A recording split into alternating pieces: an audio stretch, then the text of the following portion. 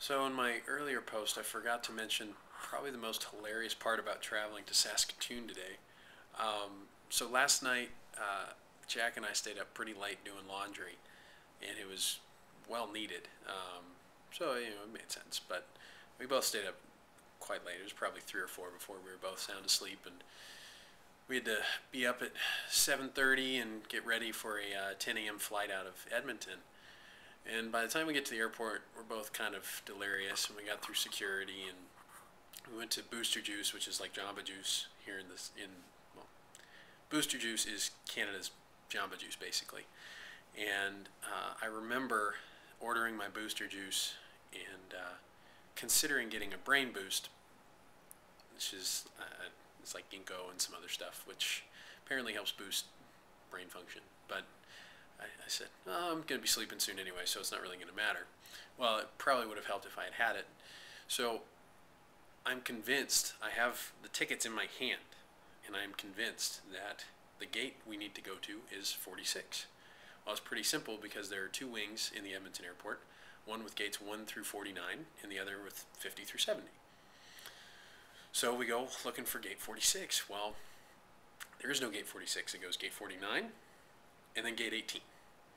So I asked one of those credit card saleswomen, um, like, where do I go? I'm looking for gate 46. And she's like, are you sure you're gate 46? I'm like, I'm, or, or gate 40, uh, I was gate 48, rather. Gate 48, and, and, and she's like, are you sure? There's no gate 48. So maybe, maybe you got it wrong. I was like, okay, well, I pulled out my ticket and I look at, oh, 46. And she's like, oh, okay, well, just go over that way. And, and so Jack and I start looking, and there's no gate 46. So we're starting to think that we're going to have to run through a pillar or something like platform 9 and 3 quarters.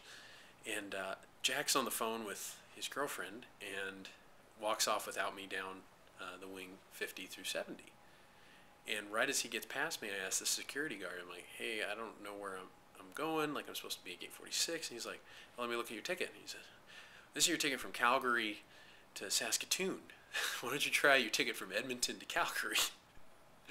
and so, sure enough, it's gate 18. So I walk back. Well, Jack had lost me because he, he, didn't notice that I had stopped walking with him. He turns around and asks the same security guard the same question. And the guy was like, Yeah, someone just asked me that about 30 seconds ago. You just go that way.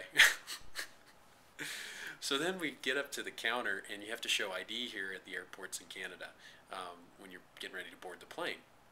And so I have mine out and ready, and Jack's on the phone, so he kind of missed the memo.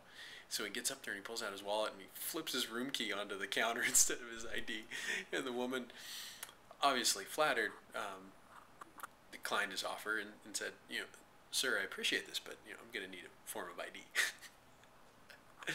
oh, and so we finally get on the plane, and all is well. I'm sitting in row four. Jack is in row four, right across from me, and all of a sudden this man comes up and says, You're in my seat. To Jack.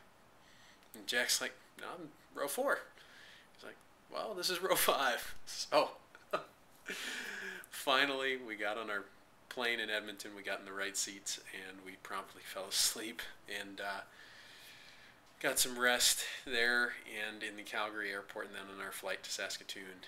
And uh, it was an eventful day. It has been a great day and we're glad to be here. But it was so funny and I had completely forgotten about it. But it was definitely worth uh, sharing. So anyway, uh, check back for some more videos soon. I'll definitely have some up.